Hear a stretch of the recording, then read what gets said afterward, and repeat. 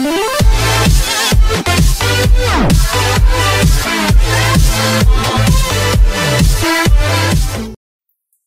định Nigeria với Nam Phi. 2 giờ ngày 11 tháng 7 Xuất sắc đánh bại đội tuyển Ai Cập. Nam Phi đang đem lại niềm tin cho người hâm mộ tại Cúp châu Phi năm nay. Đối thủ của họ ở vòng đấu tứ kết không hề dễ chơi.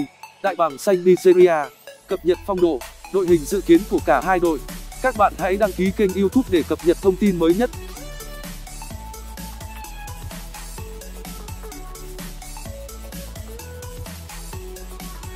Vòng 1 trên 8 của Cúp bóng đá châu Phi năm nay đã chứng kiến những bất ngờ lớn. Đó là việc hai ứng viên hàng đầu cho chức vô địch là chủ nhà Ai Cập và Maroc phải nói lời chia tay giải từ sớm. Họ đều nhận thất bại cay đắng dưới chân của các đối thủ yếu hơn. Một trong số đó chính là đội tuyển Nam Phi. Đội bóng nước chủ nhà của World Cup đã đánh bại đội tuyển chủ nhà Can Cup 2019 là Ai Cập sau 90 phút đầy kiên cường.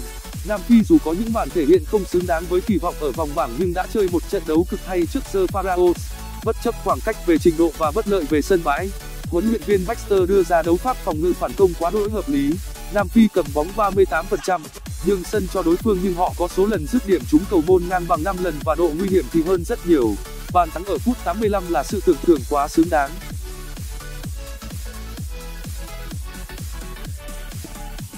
Trong khi đó nigeria cũng dần lấy lại phong độ của mình sau chiến dịch vòng bảng không quá làm hài lòng người hâm mộ thì đại bàng xanh đã đập tan mọi hoài nghi bằng cách đánh bại nhà đương kim vô địch Cameroon để tiến vào tứ kết.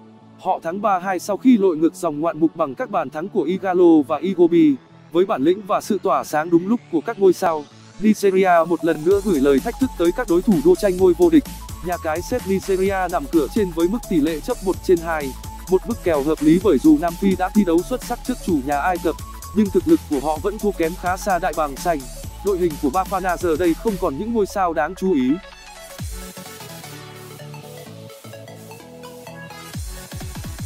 Nhiều khả năng nam phi sẽ lại lựa chọn lùi sâu phòng ngự, nhưng thế trận cho đối thủ và chờ thời cơ phản công. Với việc nigeria không được đánh giá cao ở mặt trận tấn công bằng chủ nhà ai cập, thầy trò huấn luyện viên baxter có thể sẽ tiếp tục thành công với đấu pháp của mình.